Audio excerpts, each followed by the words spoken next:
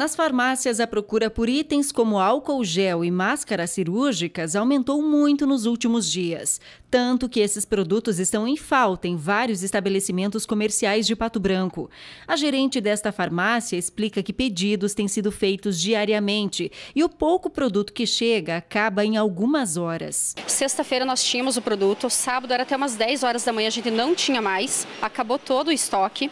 Temos pedido já feito, né? Até eu estava olhando na nossa pré-entrada tem para chegar hoje, amanhã acredito que chega uma pequena quantidade, mas o que nós tínhamos acabou. Se está difícil para a população encontrar esses produtos para prevenção, imagina para os profissionais da área da saúde que utilizam esses produtos todos os dias. Nos consultórios odontológicos é impossível atender os pacientes sem luvas descartáveis e máscara. O álcool é utilizado para esterilização do local após cada atendimento. São itens raros de se encontrar.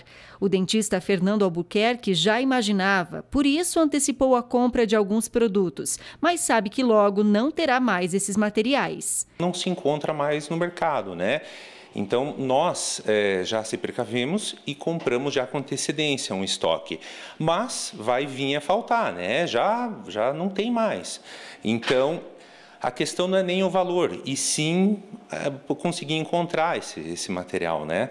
Ele também adotou medidas de segurança no consultório, tanto que alguns atendimentos estão sendo remarcados. Infelizmente, acabou esse produto, não vai ter como nós atender os pacientes, né? Já remarcar tudo? Com certeza, já remarcamos por um período aí de 15 dias e se precisar a gente vai ter que remarcar, vai ter que, infelizmente, os consultórios vão ter que ficar fechado, atender só a urgência quando pessoa tem muita dor mesmo, né?